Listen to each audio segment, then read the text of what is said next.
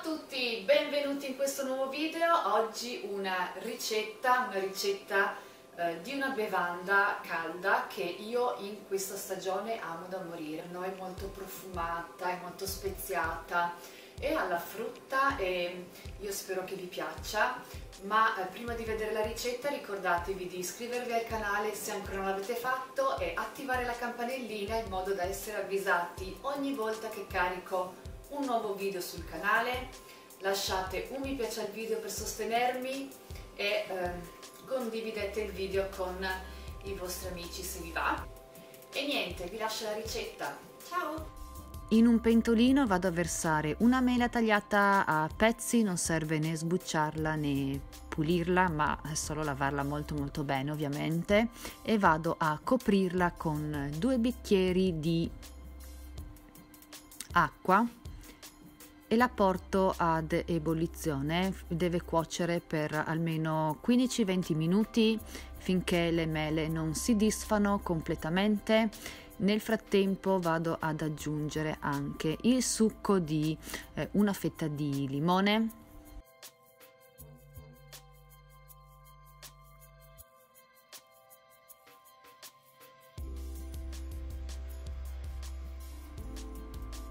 Ultimato il tempo di cottura, le mele saranno completamente disfatte. A questo punto tolgo il pentolino dal fuoco e vado a versare in un bicchiere con un colino in modo da filtrare il succo di queste mele che eh, praticamente adesso abbiamo realizzato uno sciroppo di mele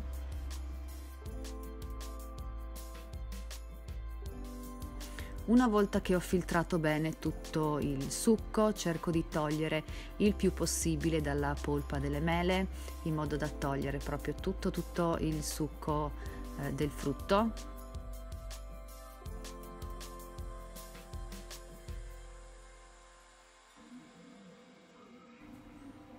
Una volta che ho filtrato bene tutta la mela, riporto il succo nel pentolino e continuo la ricetta andando ad aggiungere una fetta di limone, una o due fette di arancia, tre chiodi di garofano,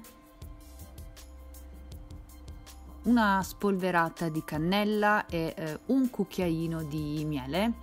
Aggiungete o diminuite il miele in base ai vostri gusti e poi se volete eh, quando volete bere la vostra bevanda potete aggiungere anche un po' di zucchero di canna eh, lascio bollire altri 10 minuti e poi filtro nuovamente la bevanda con un colino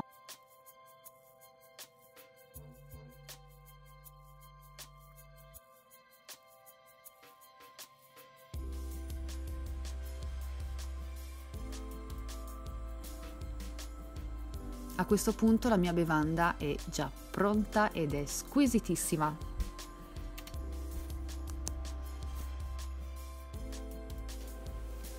E niente, questa è la bevanda appunto che abbiamo preparato assieme, io la amo da morire, come avete potuto vedere ho utilizzato molta frutta, molte spezie e il profumo è davvero qualcosa che dovete provare, quindi provate eh, questa bevanda, lasciatemi scritto nei commenti cosa ne pensate, se vi piace, se non vi piace. Ehm, dei consigli, qualsiasi cosa, altri suggerimenti, altre ricette che sapete che eh, i vostri consigli per me sono preziosissimi. E niente, io vi ho già detto prima che questa bevanda la amo, quindi insomma fatemi sapere anche voi cosa ne pensate. Ricordatevi di iscrivervi al canale, lasciare un mi piace al video e noi ci vediamo tra pochissimo con un nuovo video. Ciao!